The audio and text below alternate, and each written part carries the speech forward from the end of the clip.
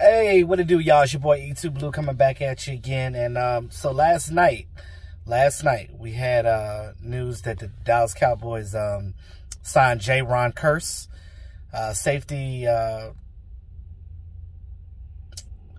former Lions, former Vikings player. Um, I know, you know, we saw the Jayron Kearse, Malik Hooker, and um, Damontae uh, KZ or, or Kazi or however you want to say his last name.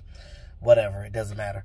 Um, all three of these guys came and visited the Dallas Cowboys this week, this past week, between Tuesday, uh, Wednesday, and I guess, well, they're gone today. We know that uh, Damontae is going to also go visit with the Lions as well. So I know the Dallas Cowboys are still trying to pursue him um, to try to get that contract done before he gets to the Lions because he quite quite possibly could sign with them if they like what they see with him. Now, you look at these three guys, right? They all bring similar things. They all bring different things. So, um,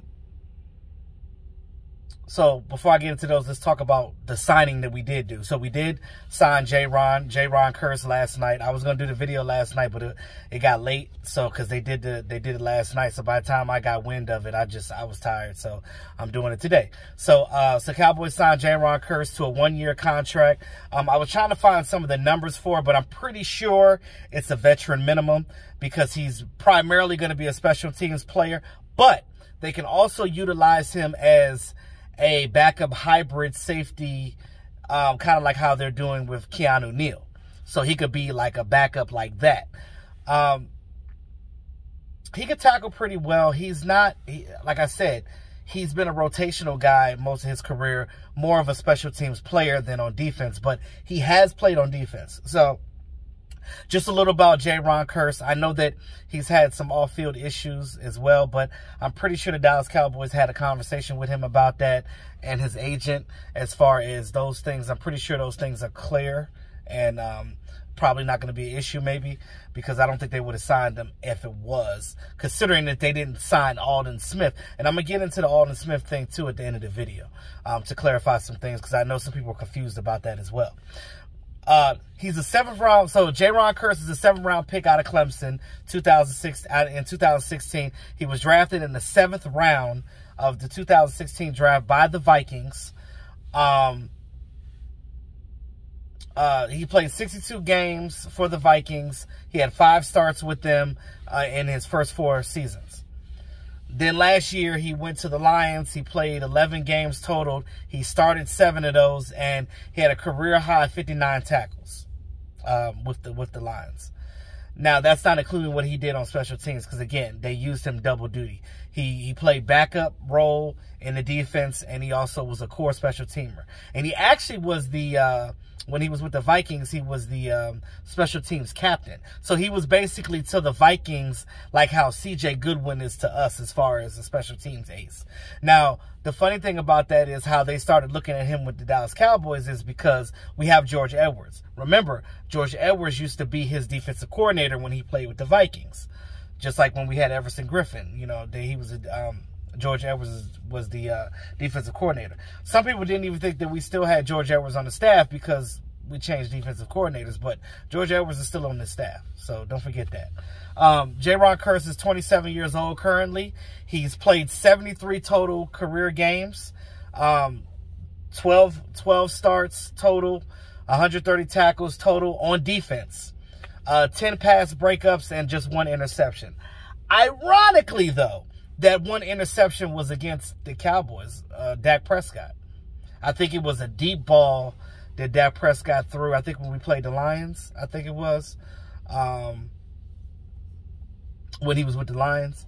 And then I think I think it was when Dak just threw like a deep ball, just a random ass deep ball. It was probably one of those interceptions that Dak threw at the end of a quarter, like just trying to just throw the ball deep. I think it was one of those, and then he just basically caught it for the interception. But it is what it is. So, uh, but that was his only interception. Ironically, it's on the team that, against the team that he's now signed to. It's funny how things happen. It's funny how life rotates and recycles itself, doesn't it? I hate wearing these masks though because it makes my beard all like scrunched up and stuff like that. My beard can't flourish in COVID. Sorry, I know that's off topic, but you know. So, um, so that's it with uh, Jayron Kearse. Now to Damontae uh, Kazi, KZ, um, and Malik Hooker. So Malik Hooker tweeted after his um, visit with the Cowboys said it went great. Now I heard some other news that it didn't go so well. So what's the truth? We don't know. Um, will they sign Malik Hooker? I don't know. I, I, just know what I hear. I heard that they're still looking into it as as much as they're they and they actually tried to get a contract done with Damontae last night because they knew that he's going to see the Lions today. So we'll figure out we'll find out today whether he signs with the Lions or if he ends up coming to the Dallas Cowboys. Now the Dallas Cowboys kind of really want Kazi KZ whatever because of the ties with his old coordinator, Dan Quinn. He already knows the defense that we're running. He knows what Dan Quinn wants. He knows what he expects out of his defensive players. So it's kind of a common thing. Now, if you get Malik Hooker, I like what I see with Malik Hooker is just the injury history thing. So I don't know. It all really all depends on how the physicals went. That that is the determining factor on Malik Hooker is is basically the the injury history and if he will be able to hold up. And again, the contracts with both of them are going to be incentive laid based upon their performance. So if they stay healthy, they get more money. So that's going to be written into the contracts if these two guys get signed, which is the main reason why Jayron is signed already and the other two guys are not because they got to figure out these contracts. So, which is the reason why Damontae's agent is like, okay, well, we're going to look at another team as well. Uh, shop around, basically shop around, see what we can get.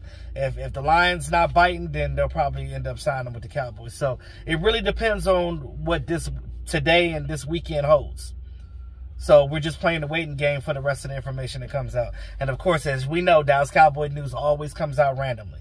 Also, before I end this video, to clarify the Aldon Smith thing, and shout out to um, um, Big Fish, um, Mike Fisher, shout out to you, brother. Um, everybody kept talking about this Aldon Smith thing and, and, and why the Cowboys didn't resign him. People thinking that they just didn't want him. And I'm like, no, that's not true. The Dallas Cowboys did want Aldon Smith. They want, they had every intention on signing him, but he had issues. Nobody knows what those issues are. Those issues have not been stated. They, everything's been hush hush. It's been behind closed doors. Only people that know are the people involved in the situation. Um, the Cowboys did inform Aldon Smith that they're not re-signing him. Now, the reason being, we don't know, but apparently he had some off-field issues. We don't know what that is. We don't know if he had relapses from before. We don't know if, if he did something new. We don't know what happened.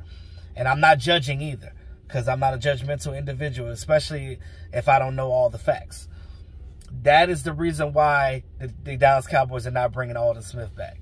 They had every intention on doing it before. They wanted him, which that signing of Tarell Basham tells you right there that was the insurance policy, just in case Aldon Smith something happened and he, wasn't able to come back.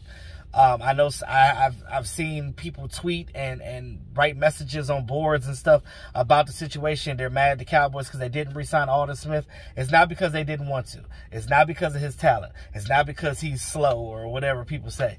It's, it's primarily because of that incident, whatever it is that happened. So that's it and that's all. So I don't know what to tell you outside of that. But that's all I have now. Let me know what you guys think in the comment box about Jayron Kearse. Uh, understand, you have to fill around your roster. Everything is not just a steak on a plate. You got to have side pieces.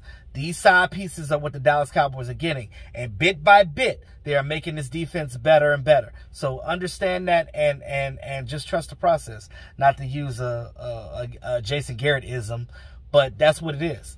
That's what the Dallas Cowboys are doing. They're they're trying to cross their T's and dot cross their T's and dot their I's. That's the right way. Not dot their I's across their T's. I mean, you know what I mean.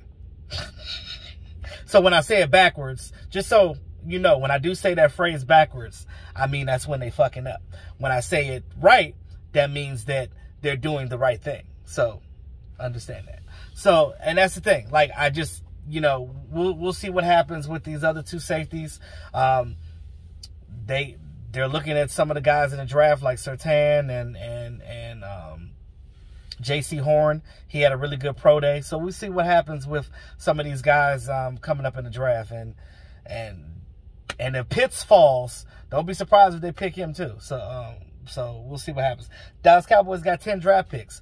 They can they can sell some of those picks off and move back into the draft in whatever situation they want to. But let me know what you guys think about Jayron Kearse and the other two guys, Malik Hooker and uh, Damontae, and, and and as far as whether they'll they'll still actually come and be a Cowboy because it's quite possible if things work out they can get both of them because they can if they want to. So with that being said, um, Dallas uh, Dallas Cowboy fans, it's your boy E2Blu, always keeping it real, y'all. Like, share, comment, subscribe to the channel.